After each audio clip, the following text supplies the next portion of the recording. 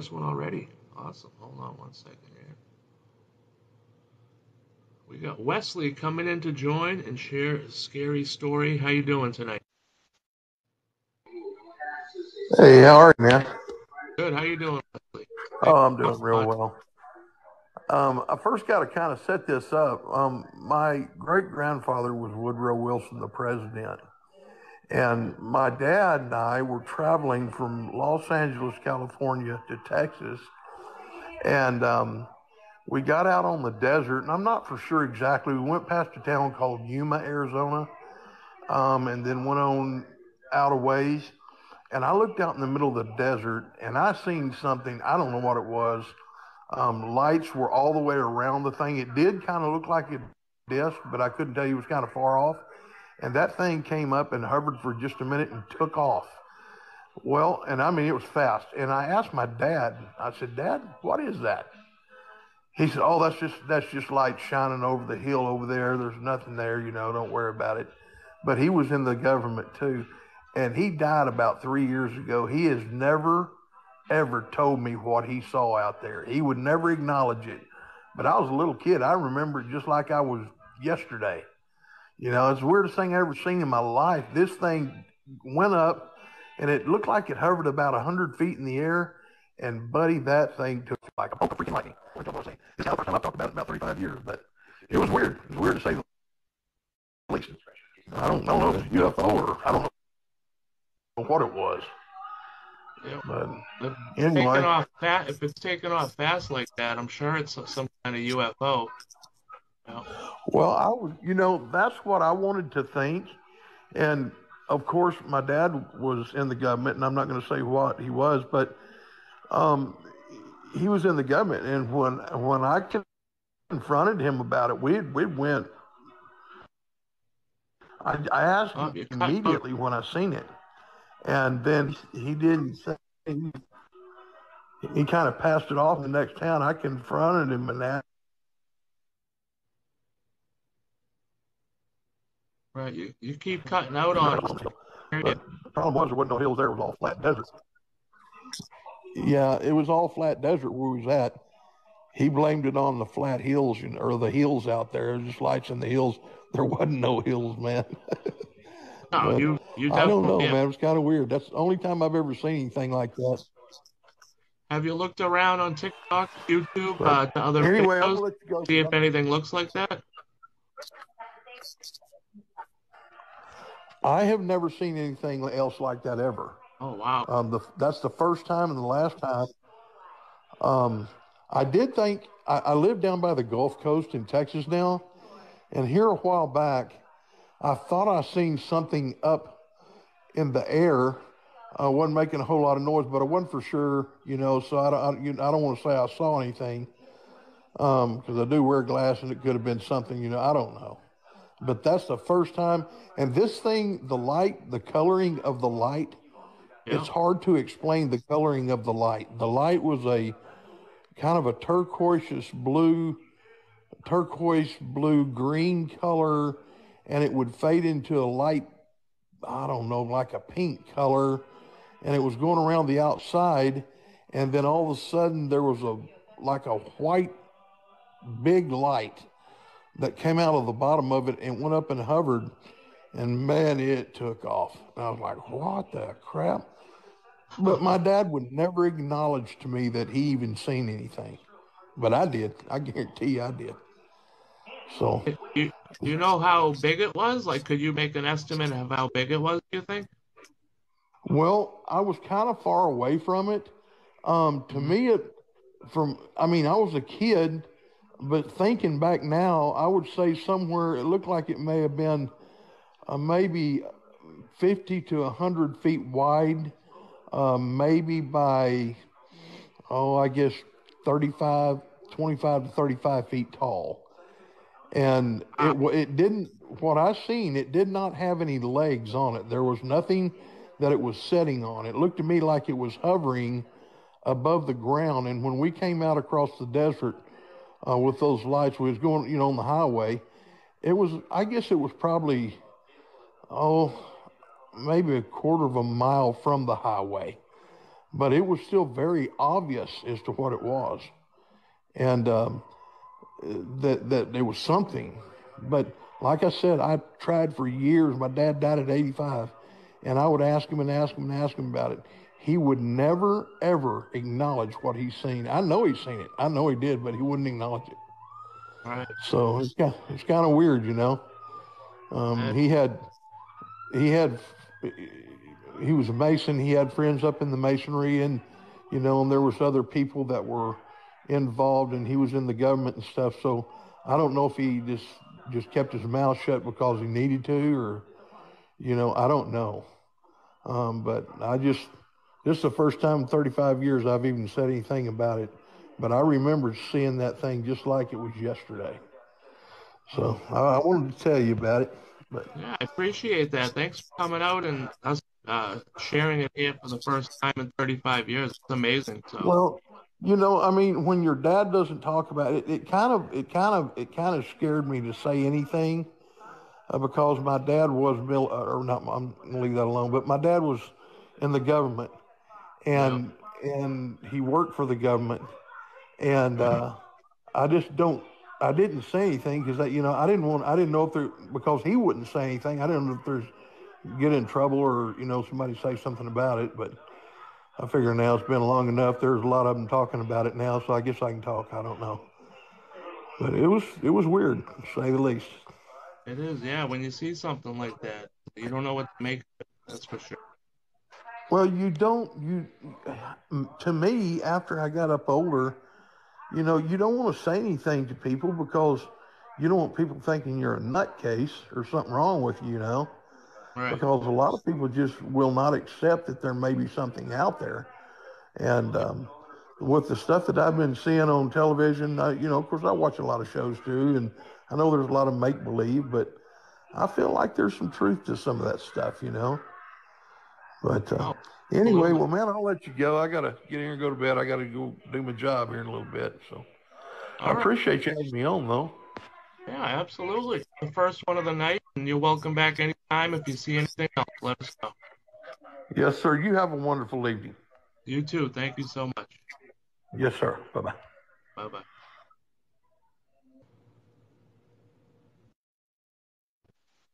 Should be joining any second. Hold up, wait a minute. Let me put some bass in it. Hey, how's it going, buddy? Good. How are you? All right. I was I was uh on here last time with the green glowing goblin chick or whatever it was. Uh, but yeah, yeah. Um, I got kind of a personal one to share. I I, I was thinking about sharing it last time, but I didn't know for sure, you know, if I should share it or not. Um, uh, I think it's it's just you know it's it's not it's not going to be like a legal matter or nothing now. Um, hello, it's kind of are you there?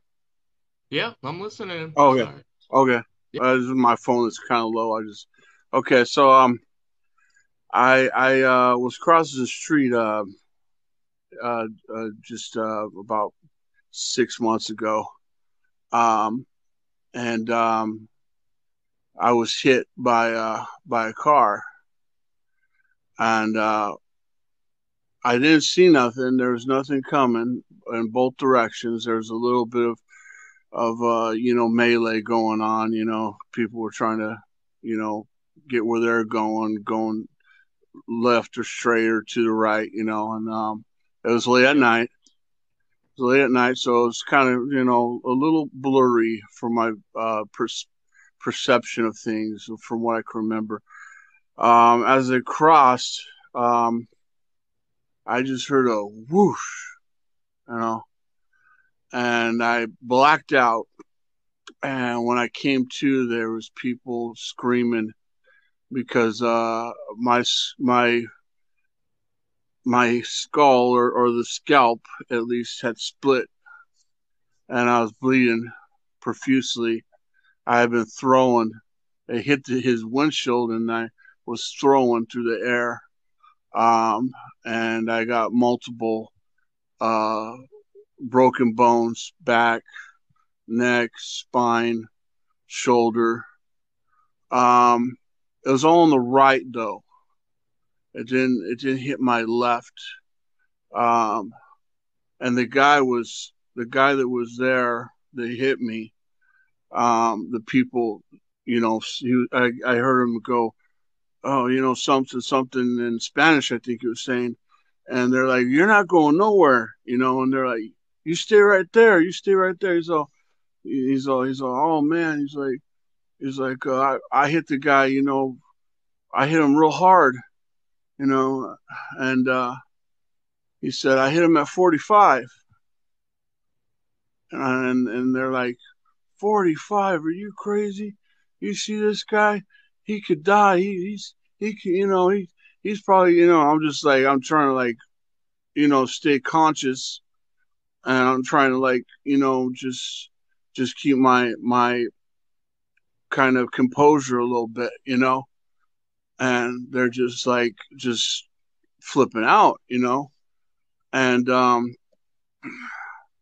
so I started to kind of black out, and uh, the paramedics had come, and I was in the ER or the or no the ICU, and um, they're like, we're gonna have to do surgery. You know, he has a brain bleed, and then they checked again, and there was no brain bleed, and then they're like, you know, we have to do surgery on his leg, and you know, hurry up, we could prep him this and that, and so they're bringing me there, and they're like, wait, he's like, uh, no, we don't have to do, we don't have to do the surgery on his leg, and it was like, I was, I was like, what, what's going on? Why, why, uh, why are they, you know, saying no surgery? You know, surgery, then no surgery, surgery, then no surgery. You know, um, and the only thing I could think of is I was slowly healing. You know, even there, um, and uh, like they said, brain bleeds they they don't disappear. You know, we got a brain bleed, you got a brain bleed. All right. Um, and so I, I started like trip because you know I was I thought I was dying, and I was I was hallucinating. I guess I was hallucinating, and it was my mom. Um, it was real bright, but I could see her her face, and she was holding me and singing. You know, songs she would sing. You know, you are my sunshine, and uh, other other songs and I'm like, Mom, am I dead? And they, I could hear also in the background echoing, You're not going to die. You're not going to die. Stay with me. Stay with me, Jesse. Stay with me.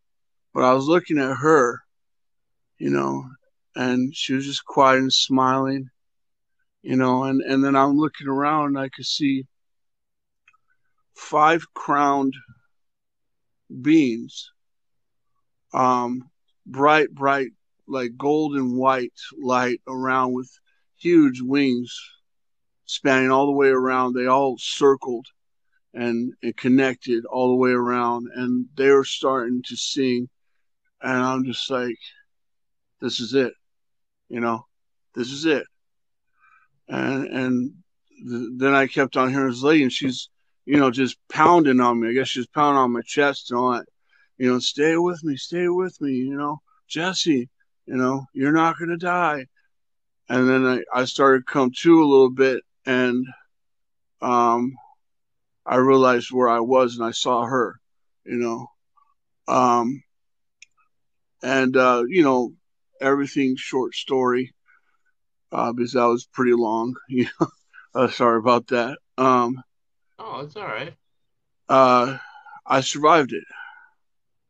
Awesome. Um, they Yeah. said getting hit at 20 miles an hour, the car's about three tons or more, and getting hit at 20 miles an hour, you're dead. It's fatal. And if I was hit at 45, um, That's even worse. Yeah.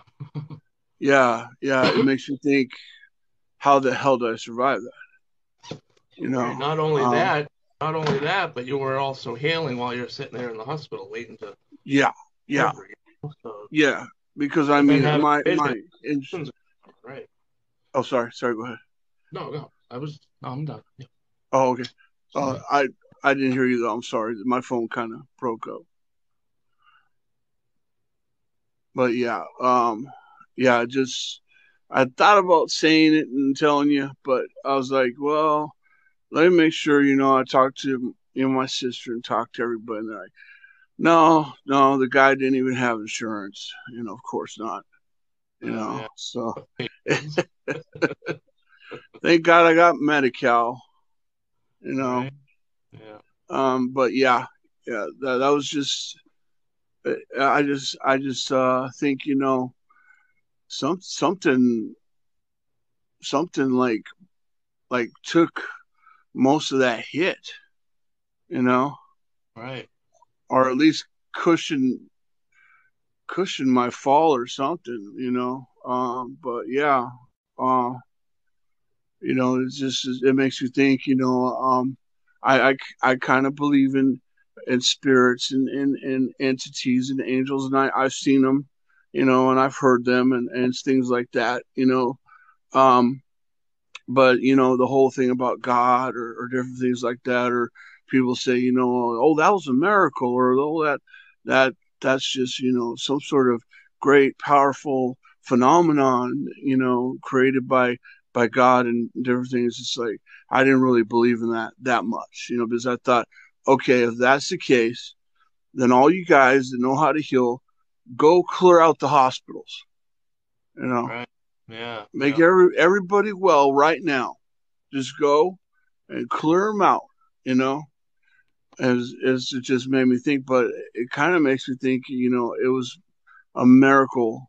It was miraculous that I survived that.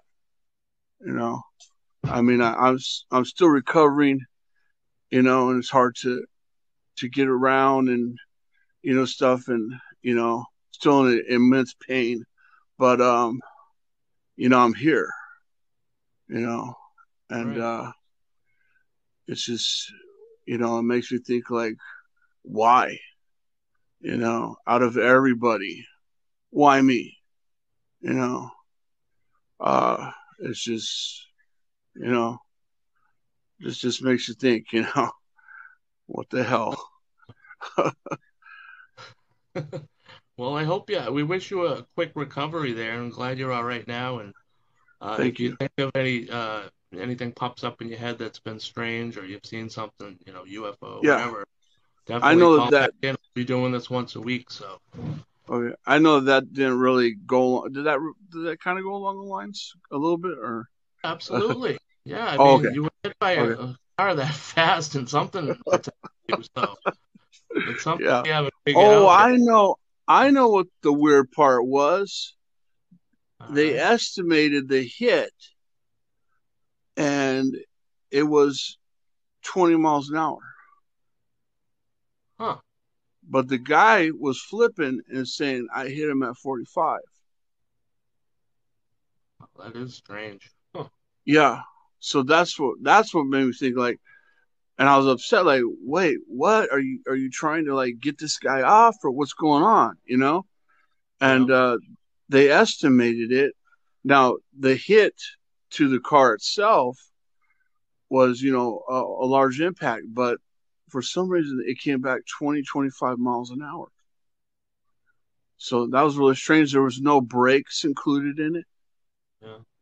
Uh, Huh. you know there was no skid marks so i don't know really strange Another one for the books.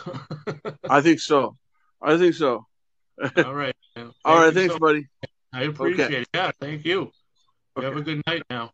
you too buddy bye All right. Uh oh, we have somebody coming on the line. Let's hit a few buttons, and we have Yuri back. All right, Yuri. Hold on one second.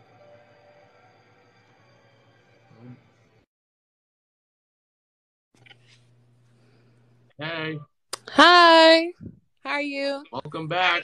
How you doing? Thank you. I'm well. I'm well. Oh, Um good. I have another story for y'all tonight. Oh Um boy. All right. yeah, I, like I said I have a lot um but this one goes back to when I was a little girl. Um Okay. uh as a child period point blank, I've always been able to see things, uh, even as a little girl, like toddler age, up until my adulthood, even now. Uh, and I've been able to hear stuff as well, like spirits, all kind of stuff. But anyways, uh, this particular story, um, I was like, mm, I say maybe five years old, and um, at the time, my brother, he's like a year and a half up under me, so he had to be like three, about to be four, and we lived in the back then we lived in the projects, right? Yeah. And um and I remember as a little girl I used to have all these weird experiences with this particular closet in our apartment. Uh, the closet was connected to the hallway, but it was also connected to my room. So my mom and dad at night, when they would go to sleep, beings, different beings would come out of my closet. Wow. yeah. yeah. Um when I say different beings, I mean from like extraterrestrials to I, I, hate to sound superstitious or whatever. Some people may not believe me, but I don't give a fuck. I don't have nothing to hide. But I used to see extraterrestrials um what appeared to be vampires. Uh skinwalkers anyways, the closet, now that I'm older, I understand that where we lived, that particular area, there was a portal. I didn't know that back then though. You know, being a little girl, I used to be like scared of shit. So this yeah. one particular night though, because usually what they would do, they would come out my closet and then go out this like we had like a sliding open window door that was by my room. So they would go out the door. And I just used to hide up under my covers every time they would come out because I was scared of them. But this particular night was different. And these were other beings that visited me this particular night. And I remember it was like five of them that came out and they came around my bed. I had a big uh what do you call those beds? The one with the little thing hanging hanging over it like a little princess. Anyways, I had one of those beds and uh all five of them circled around my bed. It was like two on one side, two on the other one, and then this one really, really tall beam in the middle at the end by my foot. Now, when they came out, you couldn't see their features because they had on like these coverings or whatever.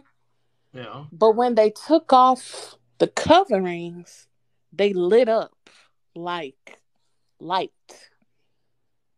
And they were, you know, they all lit up and they put one hand like down on top of my legs to hold me down. But I was screaming. I was screaming, but it was almost like my mom and dad couldn't hear me. Nobody could hear me but right. I was screaming. I was screaming for my life because I was so scared. Right. Although when they touched me, I couldn't like I didn't feel no harm. Like they didn't harm me. But I was just so scared by their presence.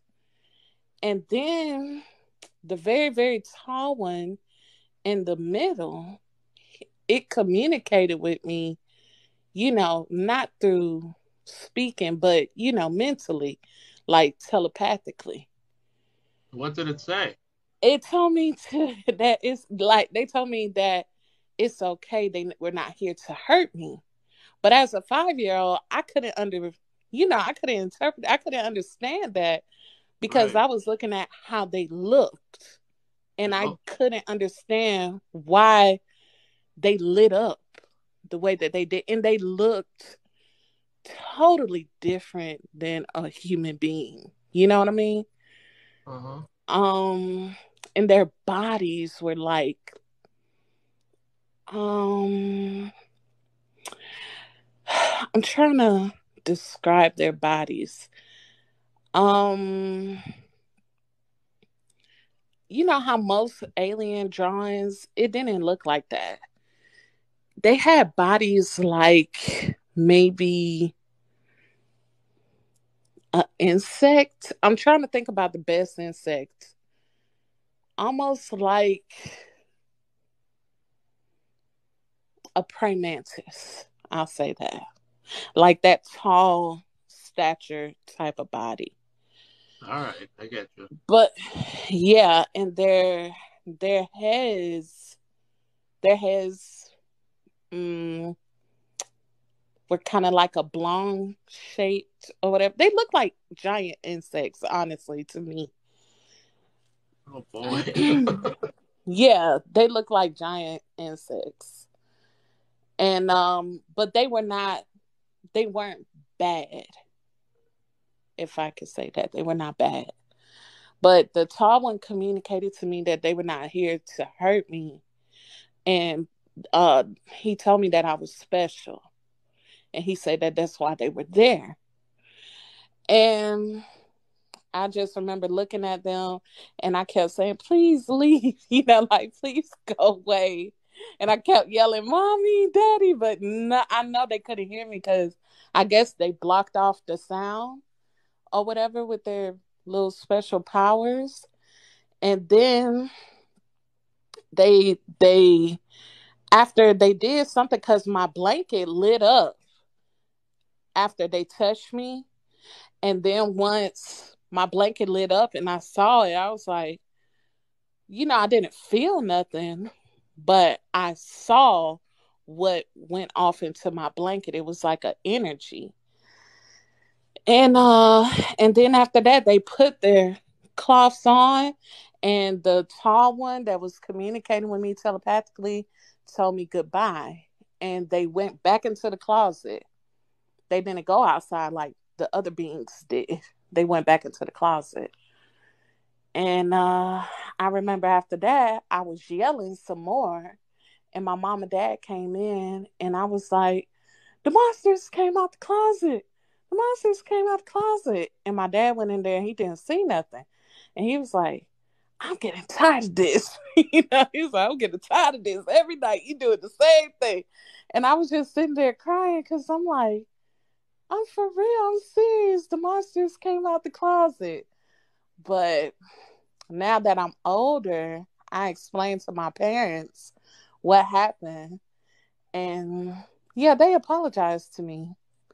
Because my dad told me he always believed in extraterrestrials. But when I was little and going through that stuff, he didn't understand what was going on because to him I called them monsters back then, but really they were extraterrestrials.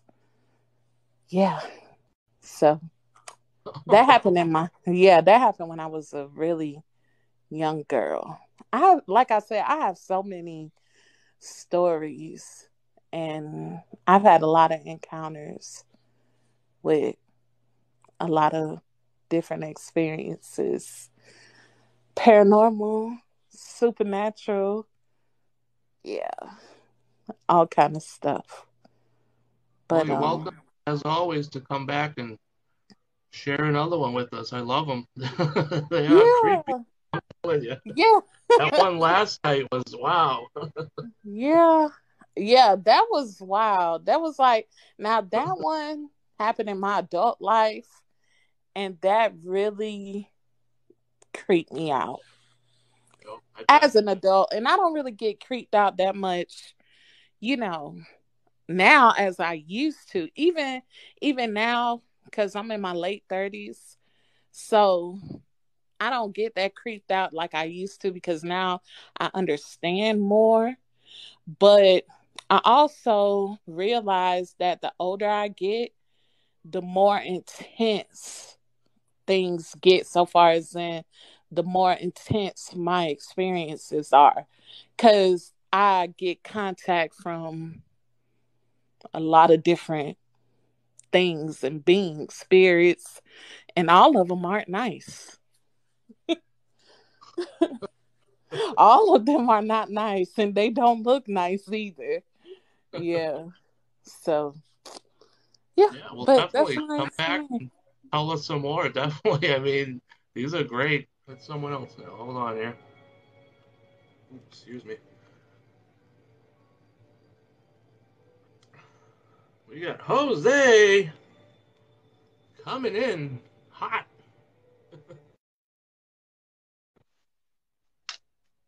Let's see. There he is. How are you? Hey, how you doing, guys? Going on? Uh, nothing. I'm just listening to Yuri. Thanks, Yuri. Yeah, that was a great, another great one. Yeah, I mean, yes, uh, uh, I was actually talking to my girlfriend today, and uh, I told her about the story that she said about the girl in the restroom.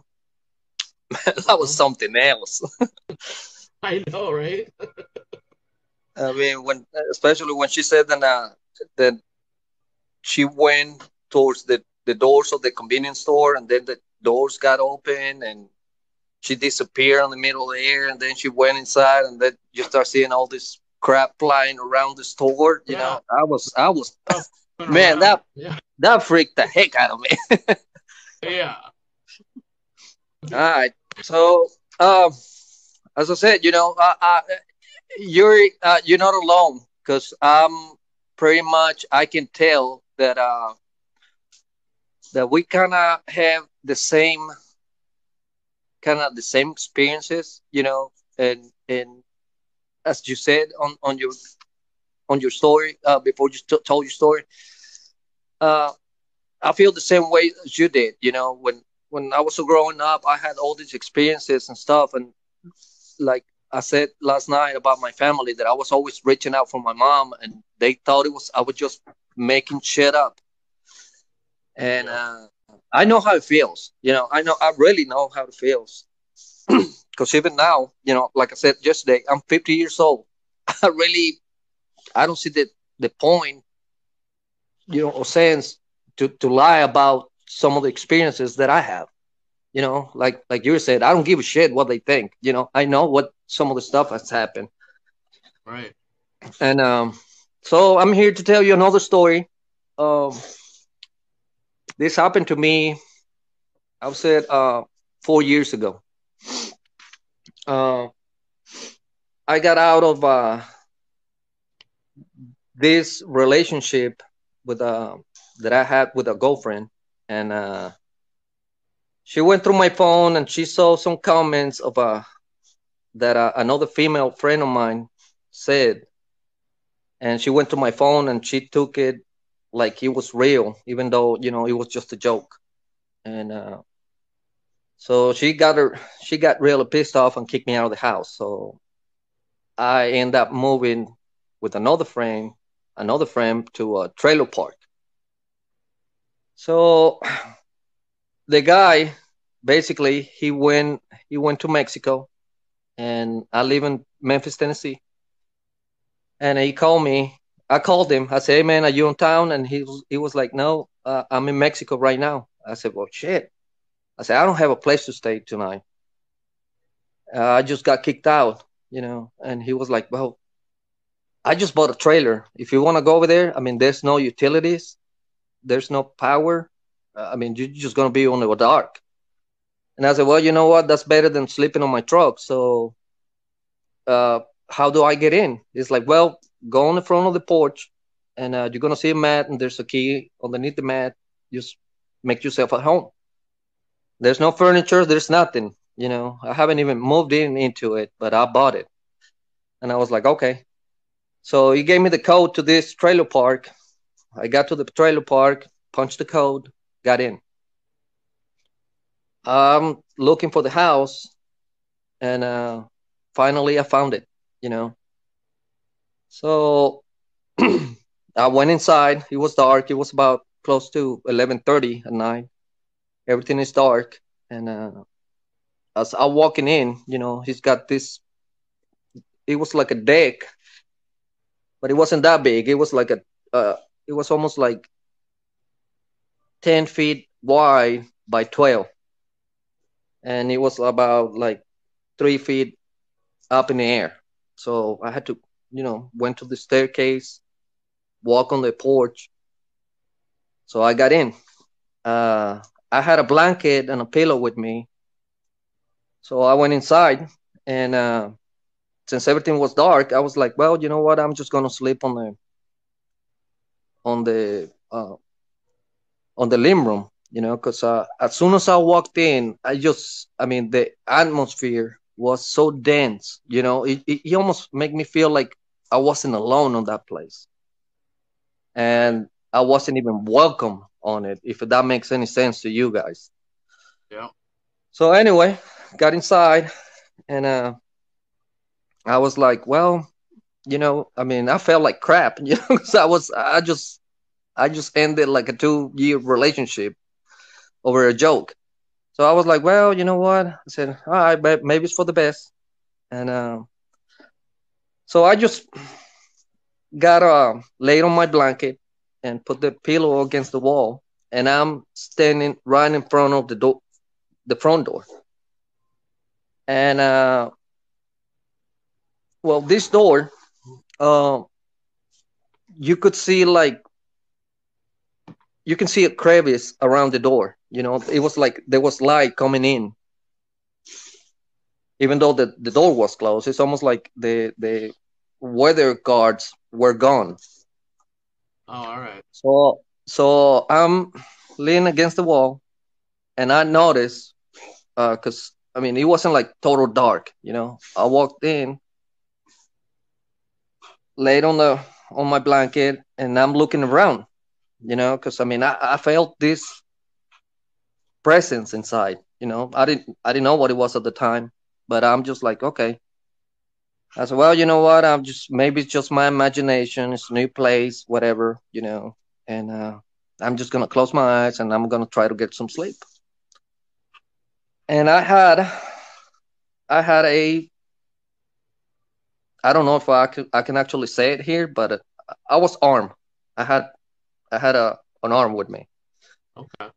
So I put it on below my pillow. I mean, underneath my pillow, and I just I just went to sleep. You know.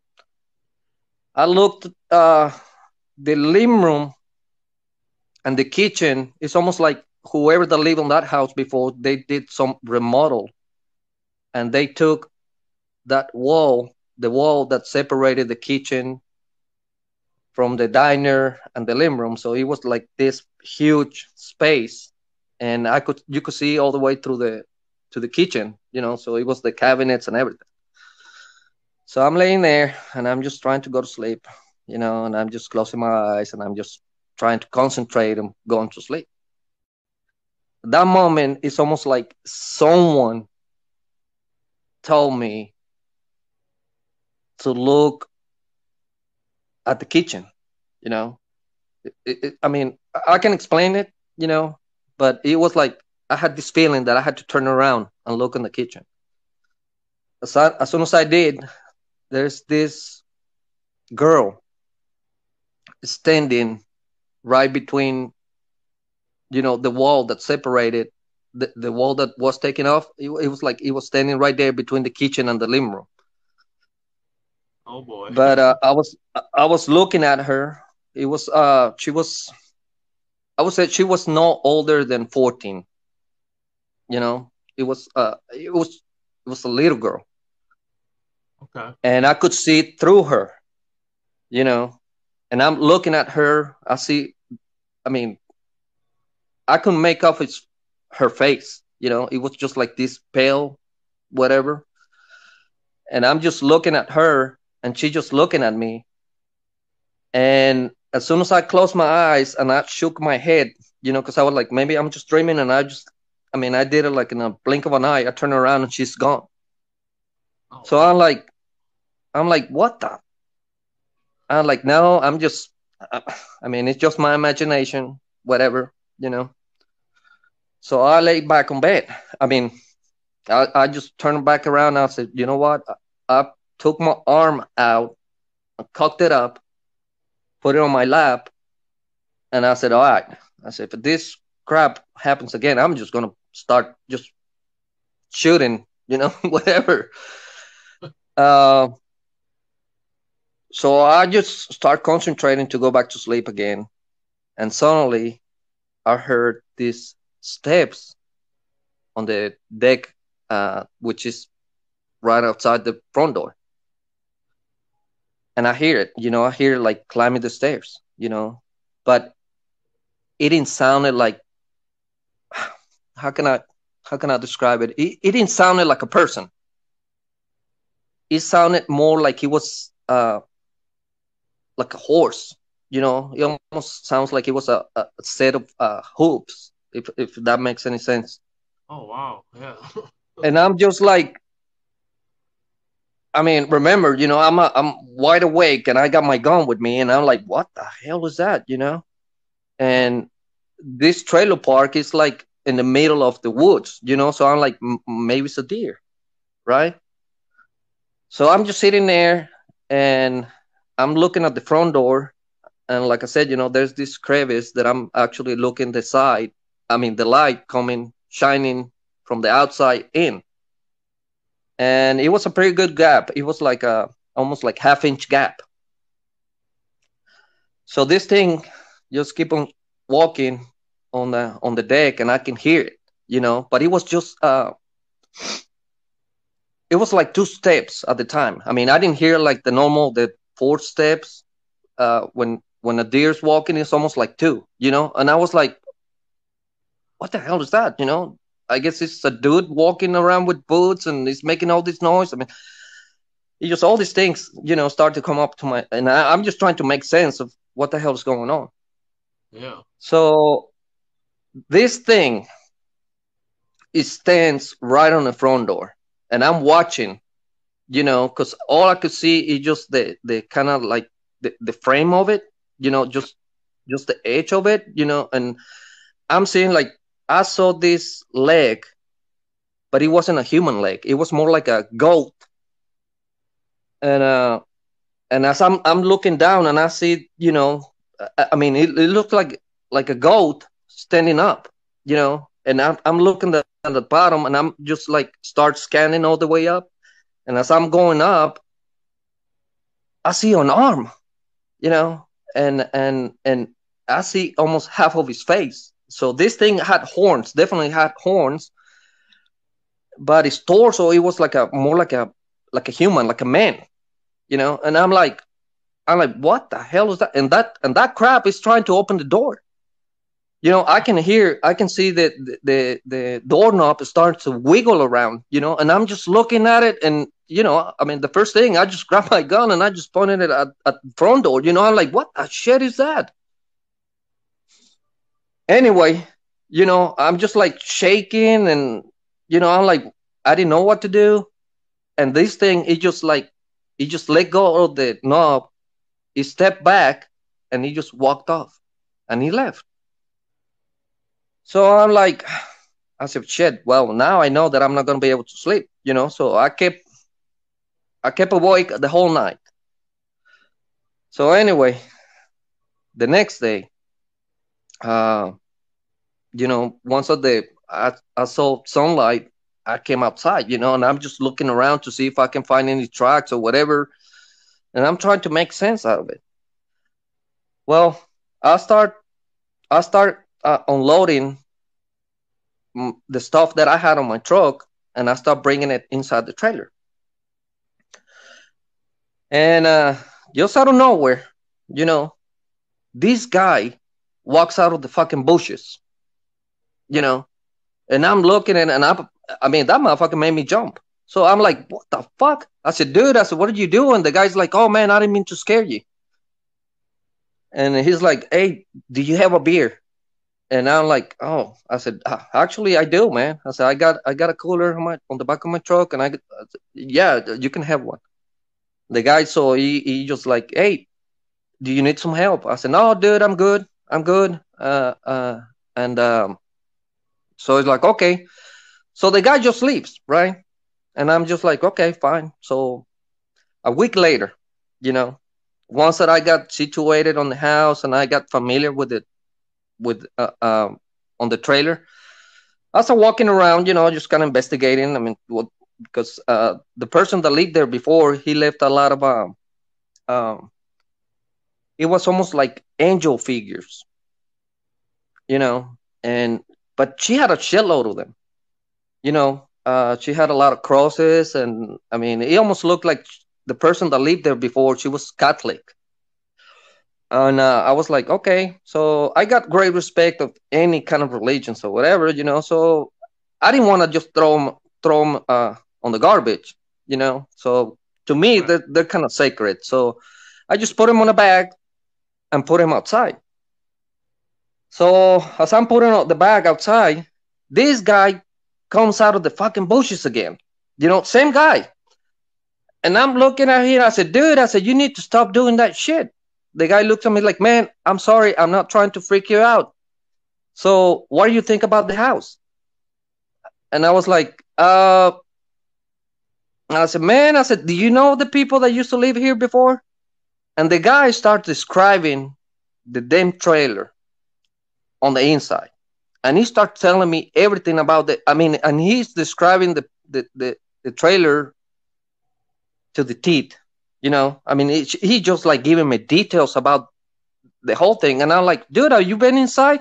It's like, no, my grandmother used to live there, and I'm like, okay. So I said, so I grew up on that trailer. And I was like, yeah, I mean, I just thought it was kind of weird, you know. And and as a matter of fact, there's a little angel figures and all that stuff. Then um, then uh, then uh, that I collected and I don't want to throw them to the garbage. And since you're the grandson, I said, why don't you just take them? The guy's like, no, it's okay. You can just get rid of them. And uh, and then he and then he told me because I told her, I said, look, I said I saw a little girl the other day, and he's like, yeah, don't worry about it. Don't pay any mind to it. My mom, she was like really, uh, she was really, I think that she was kind of crazy you know, because she kept she kept on telling us that she saw a little girl inside, and that's that's exactly the same thing that you're describing.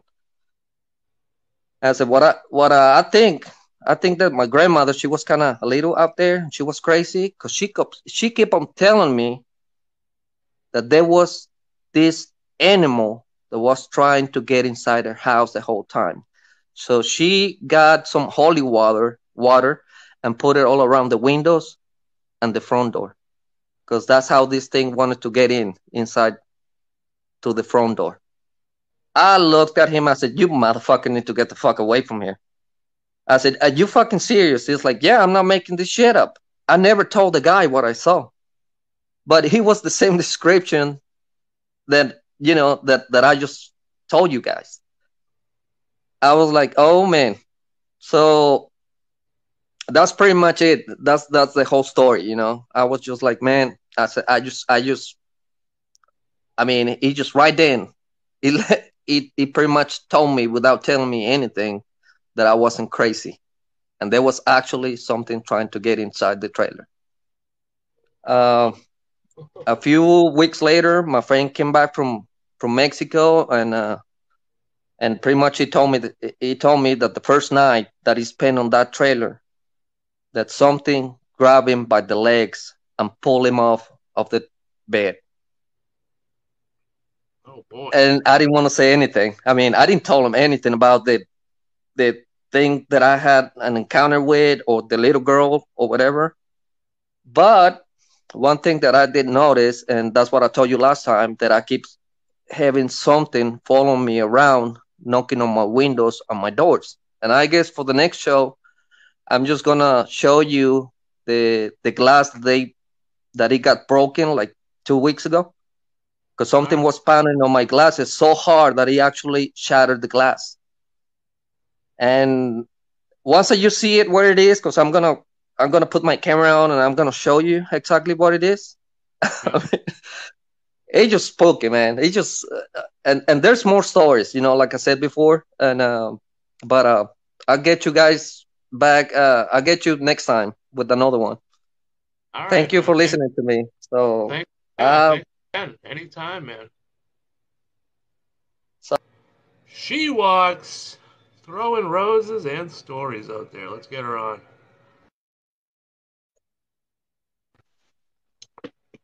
Hey, hey, Mr. Cheap. How are you? How are you? I'm good, thanks. Good. So, what do you got for us tonight? Okay, so I thought I'd tell the story of how a lot of the stuff that has been happening to me in my life kind of coalesced and made sense. Um, so, like everybody else, I for a very long time I was confused about the things that I've been seeing and experiencing my entire life. And I thought maybe if I just ignored them, they would go away. But they kind of didn't. And um, there was a good year or two worth I was living on my own. It was just myself and my daughter. And um, we, I was experiencing a lot of activity in this new apartment that we had moved into. And it had all come to a head one summer. I sent my daughter to stay with her dad because that's how bad it was. Um, and I was tired because I was scared to go to sleep. Um, I was disgruntled, like I was just at wit's end. And um, I had a horrible experience that kept me up one night.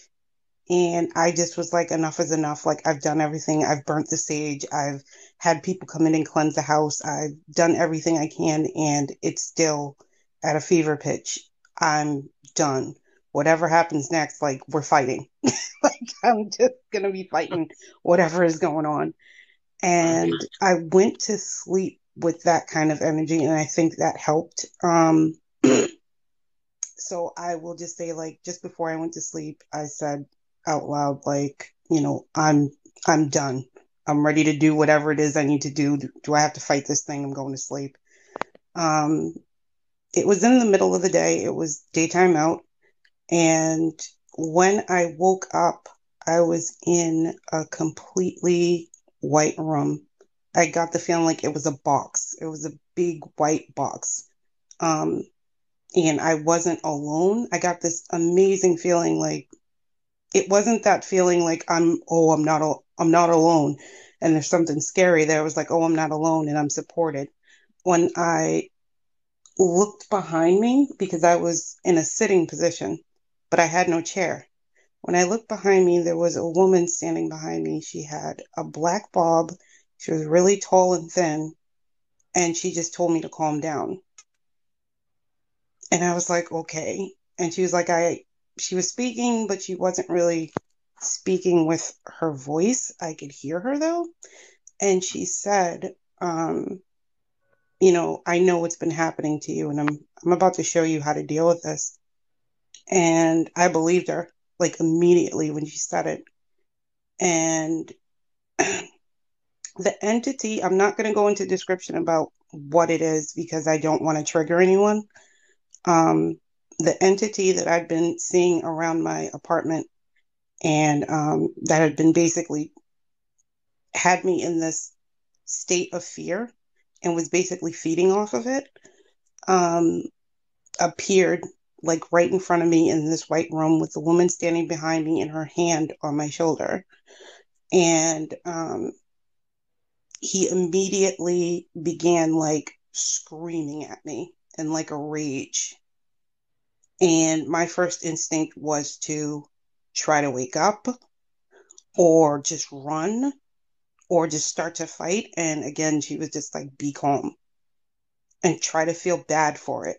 Like, how did somebody who was alive at one point come to this you know come to this point in in their existence try to feel bad about that so i'm like no i want to run and she's like nope just listen to me and, and do what i'm trying to tell you to do So I did. I stared right at him.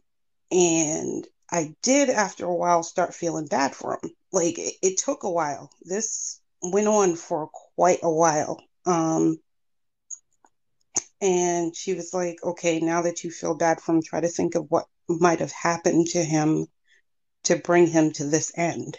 And I'm like, what? And as I'm doing that, I'm also getting information from her about the entity, which basically, I guess, he was a guy who died in his teens, um, didn't end up going anywhere. He didn't end up going to like heaven, hell, or anything. He decided to just stick around um, on this plane. And when he decided to do that, it lowered his vibration, his spiritual vibration. Um, and when his spiritual vibration was lowered, it basically turned him into a parasite. Um, he basically attaches himself to people who are also vibrating at a low frequency, um, people who are sad, who have depression, or who have just lost somebody, like I did, and, you know, are going through it. Um, he uses that to upset the hell out of you and then basically siphons off that energy and goes to hang out on the astral plane and uses that energy to, I don't know, appear powerful to other entities. That's literally all he does. That's his beginning, middle, and end. That's the end of the story. And knowing that made it so much easier to not be afraid. So I sat there for a good, God, it felt like it was hours. It really did. Um, getting this information and staring at this thing and watching it rage and go nuts like an animal in a cage, but it couldn't touch me. Um, so I finally just said it out loud. I was like, I feel sorry for you. And this thing, when I said that, this thing started, it turned into a black, gooey, oily mass. Like, I don't even know how to explain it because I don't think I've ever seen anything like that in real life. Maybe like when they pull animals out of like oil slicks. That's what it turned into. And um, it started to shapeshift into basically everybody I've ever known in my life. Um, it turned into my mom and was screaming at me. It turned into my daughter, my sister, people I've worked with like just it was just insane it was just going completely nuts and i guess it ran out of juice is basically the only way i can describe it. Like it just ran out of energy. It, it shouted itself into like oblivion and kind of returned to that disgusting oily black mass. And when it did that for the last time the lady who was standing behind me said, Now watch this. And a, a flight of stairs appeared and it ran down them. Like it tore ass down these stairs as if like I just hit it with something.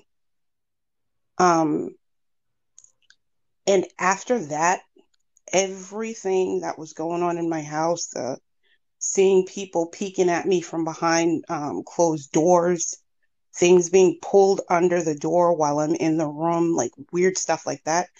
It all stopped. Like there was absolutely no more of like the physical presence of something in my house. There was like this residual feeling that something was waiting outside, like in the backyard to get back into the house. I would get a lot of visions of that, of somebody standing out in the back of the house waiting to get in, but couldn't for whatever reason. And since that time, like I've moved, I moved um almost a year to the day that that happened. I moved to New York from Massachusetts to New York. And while I've been here, I've still had a lot of paranormal kind of like um, encounters, but they've all been positive. No negative encounters at all. Um, no negative astral projecting or anything like that.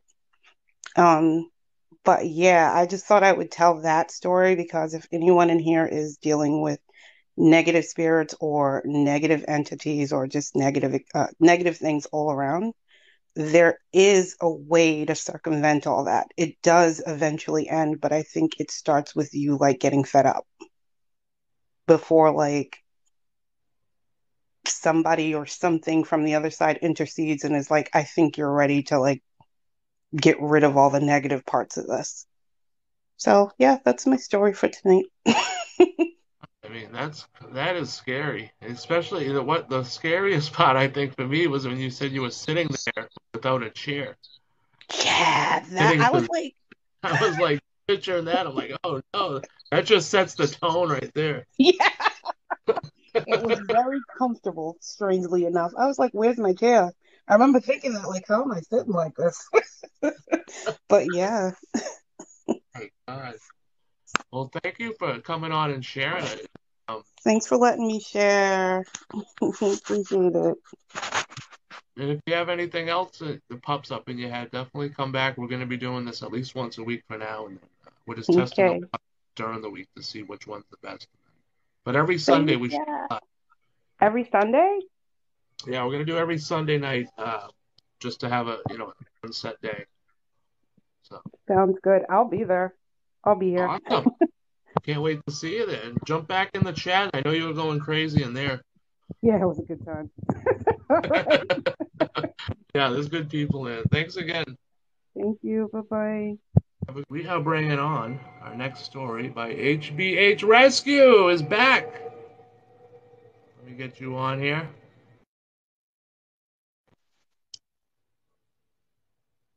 Sometimes Hi. it takes a second. Hey, how are you? I'm good. How are you guys tonight? And I love this. I love your. Good. I, I do. All right. Thank so you. I have a question for you guys.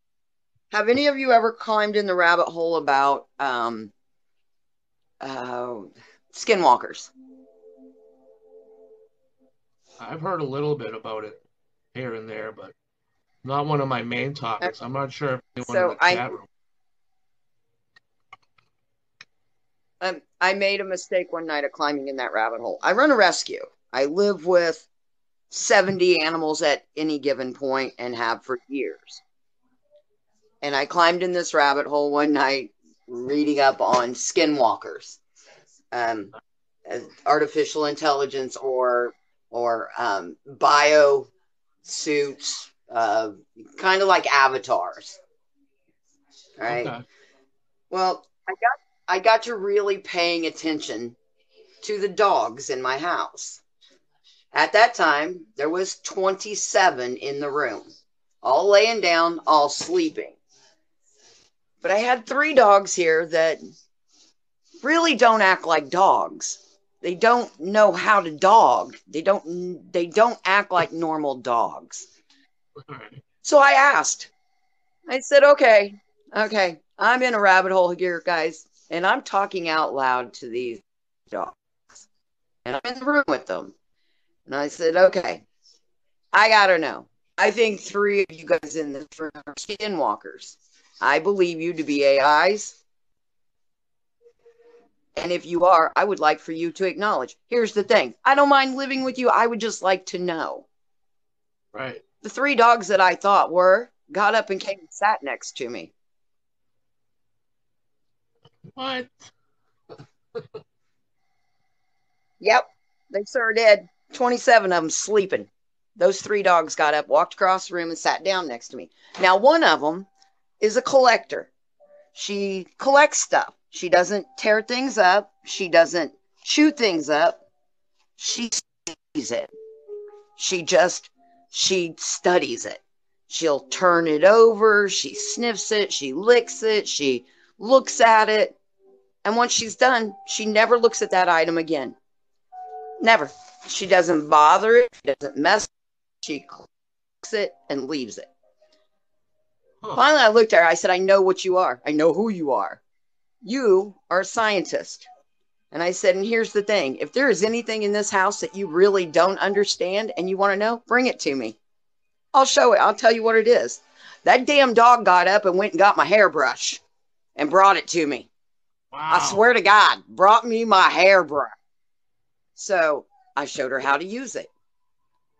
She looked at it and I said, If you understand, put it away. She took it back and put it away. Oh my God. Yeah. So my mom was sitting here when I did it.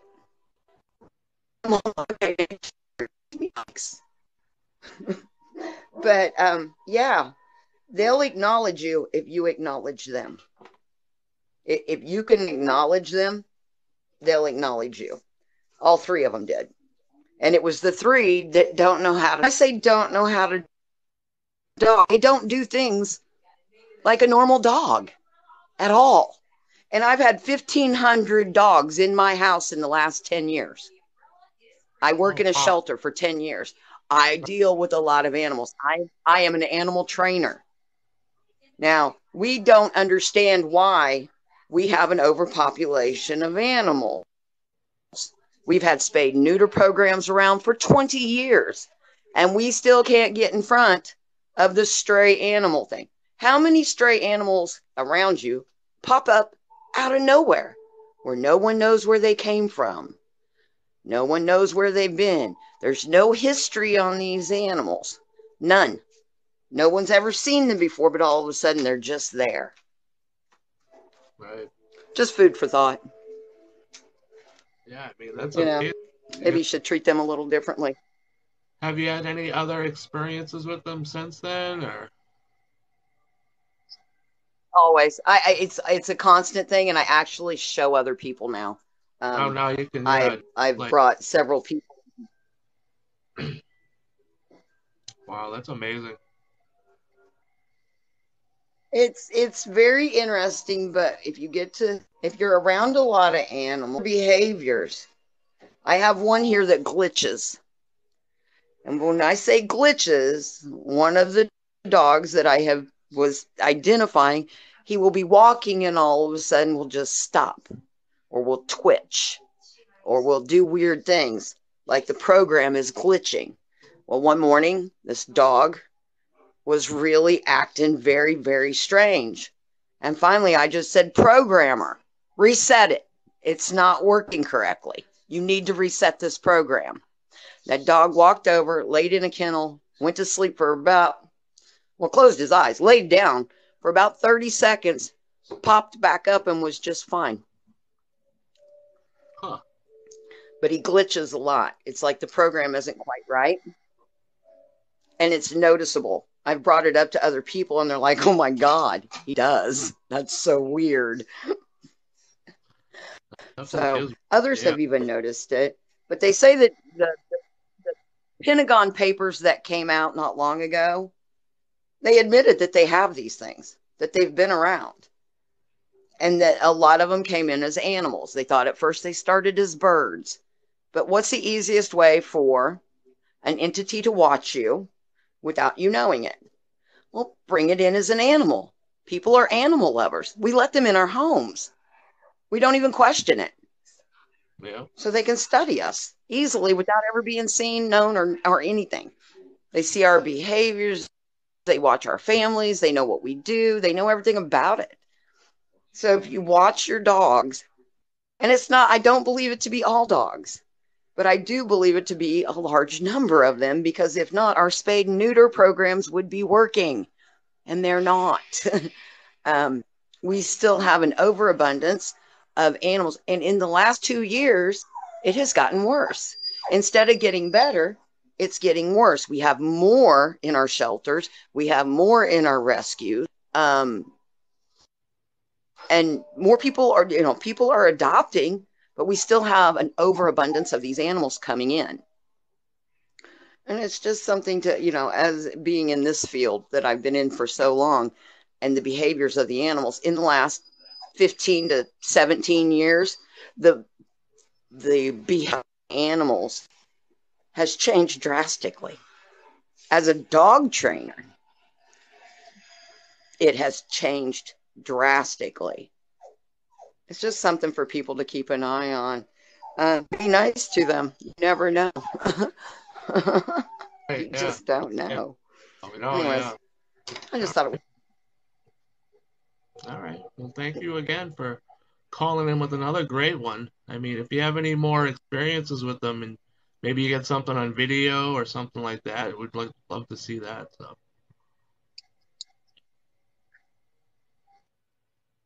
Well, I've been working on it. I'm trying to get. I would love to to get Arya too to do a couple of her things on video. I haven't really worked with it in the last couple of weeks after I did. I, I- to be very honest, it freaked me out. Um, all and I kind of just shut up about it for a little bit. This first time I've talked to the public about it because it's blatantly obvious. Yeah, I can see how it can be freaky. But... All right. Well, we'll be here uh, doing this once a week, so you're always welcome to come back on and share another great story with us. Hey, I live in New Orleans. We have a few. But thanks for letting me on again. All right. Thanks again. You have a good night now. But Bye oh. I'm still here. I'm just going to jump out and listen now. All right. Yeah. Bye. Hang out. please. Thank you. Yep. Bye bye. The story that I am going to tell you guys is like, I often forget about it because it was such a normal part of my life growing up. Um, but when I was, I think like from the time from from 11 years old to I think 17 or 18, my mom worked at a family shelter um, in Boston, Massachusetts. And this shelter was actually half of a mm, half of a Catholic. It's like a it was a Catholic church at one time that they converted to living quarters for the priests. And across the courtyard was living like the nuns had their own building. They had two separate buildings. In the priests' building, they converted half of the building into um, a home for homeless families. And it was a three story building. The building was very old, it dated back to the 1800s. Um, but I didn't know this as a kid. You know, as I got older, I started researching. But a lot of paranormal things um, happened in that place. And as I was growing up, um, my mom had five kids. So sh- when she went to work, she would take us to work and we would hang out with the fam the kids of the families that lived in the shelter. And like there was a huge courtyard, this beautiful round courtyard that was like um you couldn't even see it from the street. It was kind of insular. And we would play games in that courtyard, kickball, um, baseball.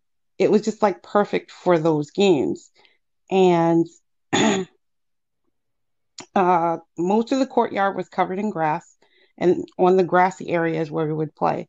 And the reason it was perfect for those games is because there was a very big, like, it was a piece of stone that was set into the ground. It was flat marble, right? And on either side, like in not on either side, in every corner of this piece of like flat marble that was set into the dirt, um, were these kind of like prongs, these thick metal prongs sticking out. They'd been worn down over the years, but that's what we would always use for home base. And like we just had so much of my childhood was spent like playing in that area. And um I remember my older brother, he's like four or five years older than me. He had said it one time, and I had asked him what he meant, and he didn't elaborate. He kind of just completely ignored the fact that he said this. But I was like, I one day we were out there playing, and just out of nowhere, I was like, I wonder what this used to be. And he gives me this look, and he's like, he's like, I think it used to be a headstone. And I was like, what? And he was like, What? Literally, just like that. That is how the conversation went. And I was like, You just said this used to be a headstone. And he's like, No, I didn't. And I'm like, All right, whatever. You know, you're being an ass. so, um, uh, my mom, as I got older, my mom uh, switched to the night shift. She was only there at night, and she would sometimes take one of us with her, like one of the kids with her. Um, it was usually myself or my very much younger sister, who was almost a baby. She was like a toddler at the time. And um, I remember one night her office was on the second floor and the third floor no let me explain. The first floor was the kitchen area. It was a huge kitchen. Every family had their own table their own refrigerator. The second floor was a set of offices and i'm remember yep second floor was a set of offices third floor was a set of offices that my mom worked in and i'm sorry not three stories it was four stories the fourth floor was where the family stayed. They had enough room for seven families and a huge playroom on that floor. Now, when my mom worked, I would she would sometimes have to run down or run up to one of these floors and I would be alone in the office. But that place was like a second home to me, so I was never really afraid afraid um to be alone in that office. And I remember this is the only paranormal thing that happened to me on the um, grounds. But I heard her call to me from downstairs. And I was like, well, that's impossible because I saw her go upstairs. She ran upstairs to deal with something that had happened with a family up there in the middle of the night. And I'm like, so I didn't leave the office. I just called out the door, Mom, and she was like, Yeah. And I heard her start to come up the stairs. And I'm like, and you can definitely hear someone on the third floor. If you're on the third floor, you can definitely hear somebody start to come upstairs from the first because it's just a very creaky kind of like build. You could just hear it. So I'm like, oh, and I could even hear her like stop and like rest a little on the first floor, like she usually um on the second floor, like she usually does and then take take the rest of the flights.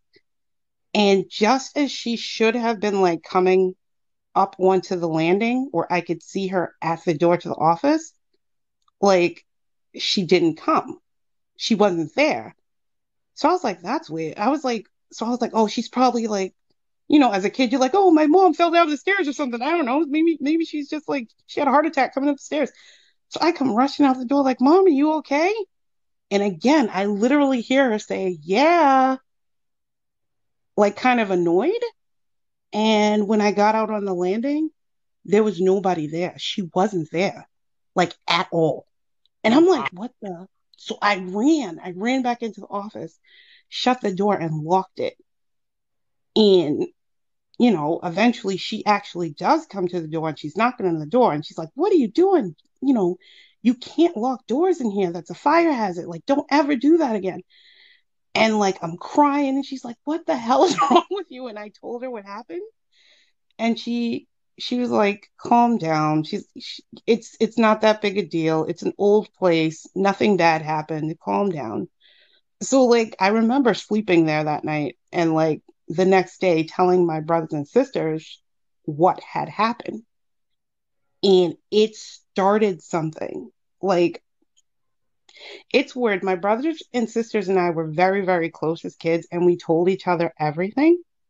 So I was completely like shocked when all of a sudden all these stories start pouring out of my older sister and my older brother. And they start telling me everything that has ever happened to them since my mom started working there and we started hanging out there. And they're like that place is corroded with ghosts. Like just oh it's it's rife with ghosts. And i'm like what and my older sister is talking about seeing nuns like in full habit walking around in broad daylight by the time my mom had started working there there were no nuns working there anymore the only person um from the archdiocese that worked there was the priest who ran the whole shebang. We'd see him all the time. But they're like, no, we would see them walking around like outside, nuns in full habit. And I'm like, what the hell? And like, we told mom, but mom would just tell us to ignore it. And I was just like, this isn't like, you know. So it became like creepy pasta in our family to tell these stories. Like I would retell the stories that my brothers and sisters had told me about what they experienced there. Right. And I'd say I think I was about 21, 22 when they finally closed the entire um that entire swath of buildings they closed them. And about five years after that no even longer i'm sorry. It might have been 10 years yep 10 years after they closed um, the shelter and people had moved on from the property and the property was closed down um, the the city no no the archdiocese tried to they sold the land to the city so that the city could build um what do they call those schools? Um uh uh I'm sorry I'm blinking they wanted to build a school they called the school city on a hill. And it was an alternative school for children in high school. It was an alternative high school. That's right. So there were in total three buildings um, on the land. And when, so they started digging to build this school. Um, sorry, hold on. They built half the school and the kids were attending that part of the school. When they went to tear down the building that my mom used to work in, and the smaller building beside it that um, had been condemned a long time before my mom ever worked there, they found bodies in Oh. that courtyard that we used to play on when we were kids. Uh, Hundreds and hundreds of unmarked graves stacked, people stacked on top of each other. It looked like they had been doing it for like a century or more, burying people there. Um, and when the city requisitioned the records from the archdiocese, the archdiocese said, We have no records of those bodies being there, oh wow. which was pure bull, like pure BS. They absolutely always knew that those bodies had been there. The official record that they could find, um, and that the city also had information on, was that um, at one time it was a residential school for not just a residential school, also residential housing for Irish immigrants who were coming to this country to work, right? At the turn of the century, maybe just around uh, 18, in the 1800s at some point during the Industrial Revolution. And that's about it. That's all the information that they had. Oh, sorry, I'm wrong. And that there had been a graveyard there. Um, and that when it was converted to housing for the clergy, they had moved those bodies to a cemetery down the um like in the neighborhood. And I know of that cemetery. Um, but they didn't move the bodies. They moved they only moved the headstones. Oh boy. Yeah. And I was like, that makes sense because when you remove bodies, the base of the headstones get displaced. And we were using the base of a headstone for our home base all the time. So they Yeah. obviously couldn't have moved the bodies. and so all those people who had been buried there, they have no names. Um, they're just unknown dead people. And they'd been that way for over a century. And um, when that came out, I was I was already my brothers and sisters and I, we were all grown up and moved to different parts of the city, um, well, dis- different parts of the state. And I was like, you know what? I want to know if they saw anything. So I was like one at a time, like, you know, bringing it up with each one. And I'm like, yeah, did you see anything? I have an older sister who is, she doesn't like talking about this stuff at all. She's like, holy roller saved, gave herself to God. Like, you know, she doesn't like any swearing and cussing and anything. And I was at her house one day and I was just like, oh, I was actually interviewing her for um this project I had at college, you know, interview a Christian, basically. I needed to interview a Christian. And while I was interviewing her, I thought I was like, you know, this is a good time to ask her. She's all opened up and everything. And maybe I can, I was like, by the way, and I'm telling her about what happened with the school. And she's like, Yeah, I know all about that. She's like, um, that's just that's a terrible shame, all those dead people there, forgotten for all this time. Like, I cry for them sometimes. And I'm like, What? she's like, No. She's like, sometimes I cry for them. And I'm like, so I reminded her of some of the things that she had told me that she had seen when we were kids there.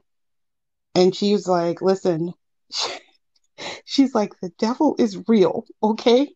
We live in two worlds. There is the world of of the spirit, and there's, you know, the world of the worldly. And thank God that we live in. And I'm like, okay, okay, but can you get to the juicy parts? And she told me that she always knew that there were dead people somewhere on that property. She was like, because she mentioned one of the young kids that used to um, live there. I remember this kid. He was like a very, very sweet person. Like when you meet people like this, you never forget them. They're just really sweet and good, like through and through. She was kind of like that when we were kids, and they used to hang out together all the time. They were like peas in a pod. And she said they used to stand, um, sit in one of the kitchen windows and watch the dead people walk across the field. And I'm like, excuse me? And she was like, you could see them in broad daylight. They would just be slowly walking up from one end of the field to the other like they were lost. And I was like, well, how do you know that they were dead? Because this was like during like the crack epidemic. you know what I mean? And like there were a lot of people walking around looking like that. And she was like, no. She was like, first of all, they were white and we lived in a predominantly black and Hispanic neighborhood. And she was like, second of all, they were dressed in rags, like raggedy clothing. And she's like, no, we knew we were looking at dead people, but we were scared to even mention it. We would just get together in the middle of the day and watch them walk.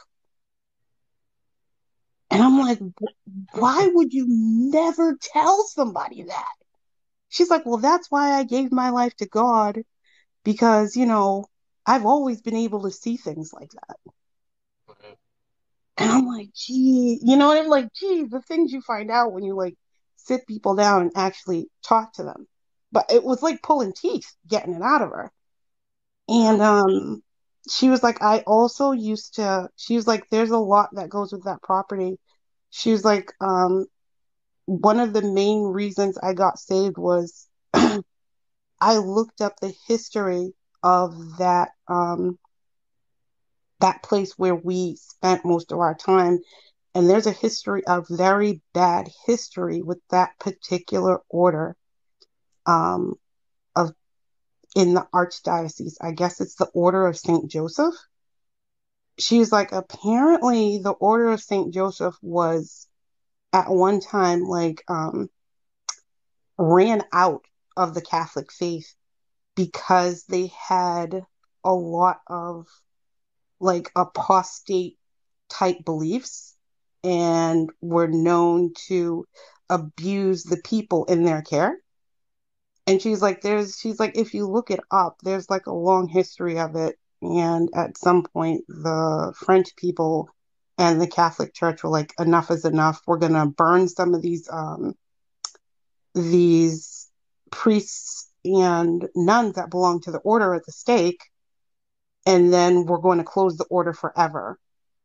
She was like, during the time that the Irish began to move into the United States, um, like they were immigrating in mass, the order par- popped up again here in the United States.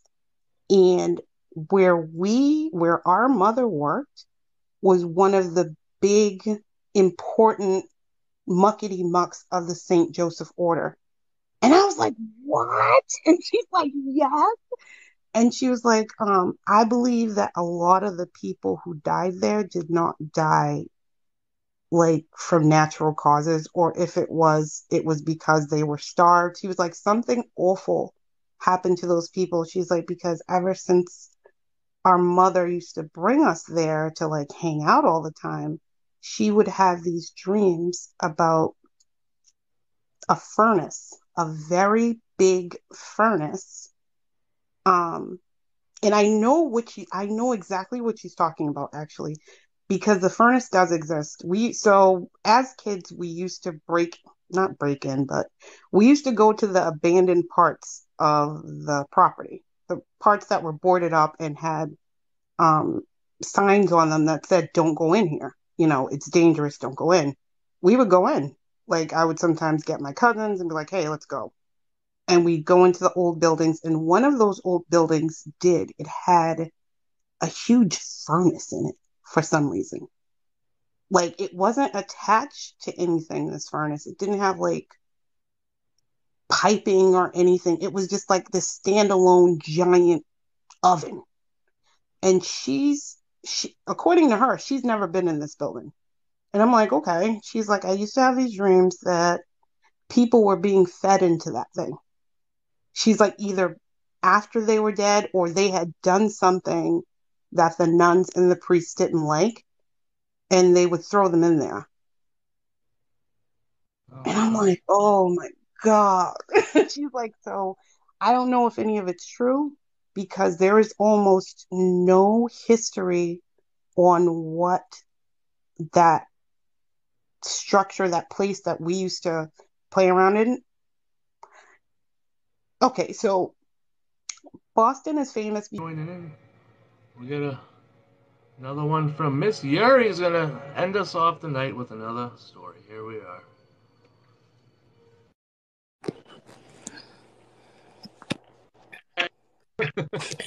Hi, I'm back. She's back. I have a short one. It's a good one All though. right. Um, so this one, uh, I was yet a little girl. I was like seven years old. Uh, me and my brother, we ended up traveling back to my mother's country, which is Panama, Central America. Uh, and we traveled back with my mom. So when we got into the country, um, my grandmother and two of my aunts came to pick us up from the airport. And they took us back to my grandmother's house. And, you know, it was a new country, new place. So it looked very interesting and different than America for me and my brother. But we were really, really excited about the whole experience because it was our first time uh, meeting like my aunts and uncles from Panama and my cousins from Panama. So really exciting time, whatever, whatever. So I remember uh my grandmother, she had like a schedule of when we went to sleep and everything. We weren't used to that at the time. So um she said we had to be in bed by seven o'clock PM. So we ate dinner like around six o'clock. And I remember at the time me and my me and my brother asked my mom, like, why did we have to go to sleep so early? And you know, we were kind of like whining and stuff, wanting to play and watch TV. And my grandmother came in the room and she was like, she sat down and she was like telling us in Spanish because we speak, you know, Spanish and English but my grandmother only spoke Spanish. So she told us in Spanish that we couldn't we couldn't uh go to sleep so late because if we did, the witches would crawl, you know, over the roof, you know, on top of the roof or whatever. So me and my brother looked at my grandma. Then we looked at my mom. It was like, Mommy, why is grandma lying to us? right?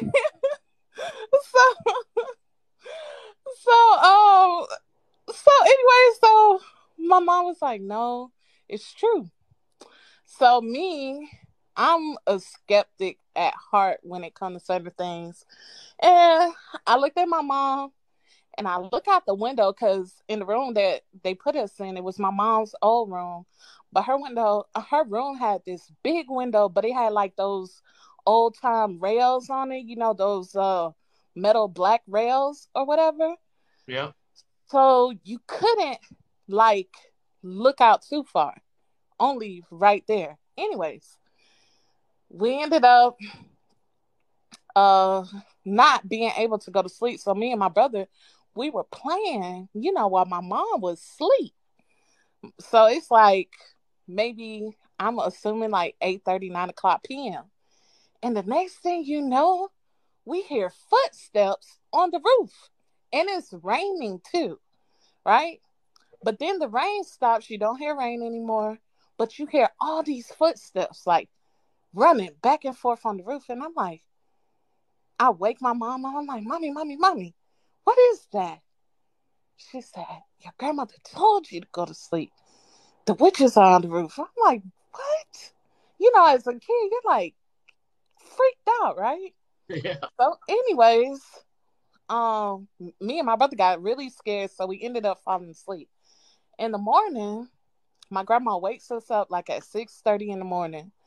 That was scheduled to give us some tea and uh cheese toast. And we get up in the morning and we're shook. So I look at my grandma and I ask her in Spanish, I'm like, um, I well, I didn't really ask her, but I told her in Spanish, I said, La bruja was here, you know, and my grandma started cracking up.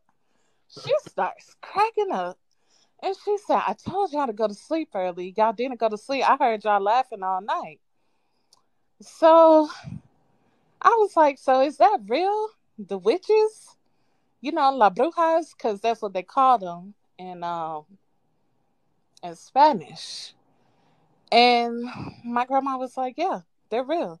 But here they fly. She said, I don't know what they do in America, but here they fly on the roof and they try to eat little children. And I was like, What? So I'm freaked out. And then the next thing you know, um, she, you know, like during the daytime, we're able to go play, but she lets us play only, you know, only within the the confines of the gates. Like we couldn't go outside the gate in her country to play, cause she said that witches snatch children, you know, uh, there in the daytime too. So I'm creeped out as a kid. But anyways, and she told me to stay away. She said if a if a, a lady who's short and have a real real big stomach come out to the front of the gate, don't go down there because she's a witch. She's a bruja. And I'm like, what's her name? and she's like, her name is. I, I, I really don't want to say her name because it creeps me out. But anyways, um, she told me her name or whatever, and I'm like, hmm. So, anyways, uh, me and my brother we're playing, and I seen this lady go, you know, by the gate, and she's waving at me to come here. And when I looked at her, you know, I seen her big stomach, but you know, I'm I'm a curious kid, so I walked down to the gate, and she looked at me and she said, she said in Spanish, you know, she said you're a very special child. She said most children stay away from me. She said, but you're not scared. And I looked at her and I'm like, no, I'm not scared. I was like, you don't look bad. you know, like to me, she wasn't a bad person. She didn't have a bad spirit. And then I asked her, I was like, Are you a bruja? And she said, Yes, I am a bruja. I said, So you're going to eat me? And she said, No. She said, I only eat bad kids. And I looked at her, my eyes got big, and she started cracking up. And I'm like, the fuck? You know, as a kid, so my grandma comes outside and she sees me talking to the lady, and she's like, Yuriko, Yuriko, ven acá. She's yelling at me. I'm scared as hell. I run up the hill back to my grandma. She whoops my ass. She said, I told you not to talk to the bruja. And I'm like, I'm sorry, I'm sorry, I'm sorry. Now, when we go inside the house, she's hitting my mom because my mom wasn't watching us. but she's whooping my mom's ass too. so so uh I remember my mom was asking me, why would you go talking to the witch if your grandma said not to talk to the witch? I said, Well, she's not a bad witch. She's a good witch. And I was like, and I'm not scared of her because she's not she's not bad. She had a good spirit. I said, and she said she only eat bad kids. So um my mom was like, Oh my God. And I'll never forget after that incident, every time I came out to play, she now her house was interesting. You couldn't like she lived across the street from my grandmother's house, but you could not see her house. Her house was like in the woods. Like I can't explain it. Like to get to her house, you would have to cross like a little bridge, but the bridge was made out of wood, like out of trees. And Huh. then it went into the woods, and then you could see her house. She had like a little hut. Yeah, and the only reason why I know that is because I was a mischievous little girl and I was very curious. And my grandma left her gate open one day while me and my brother was playing, and she called me across the street to talk to her. And I went to her house and I sat with her and yeah, we talked. And then she knew she knew when my grandma was coming, so she would send me back across the street to her house before she actually came. And yeah, and that's that's my my story. Um my short story. It's it's longer. I have like I said, I'll share more stories later. But yeah, yeah, that's my story with La Bruja. La Bruja. La Bruja. I'm not gonna say her name because I know she passed on, and and I know that sh- I just know that she could come back around, and I don't really want her in my space like that. Right. I don't blame you. yeah, but yeah, I hope y'all have a good night though. Yeah, thanks again for coming on, and we'll see you on the next show with another story, I'm sure. Okay, thank uh, you. Thank you. You have a good night. You too. Bye bye. Bye bye.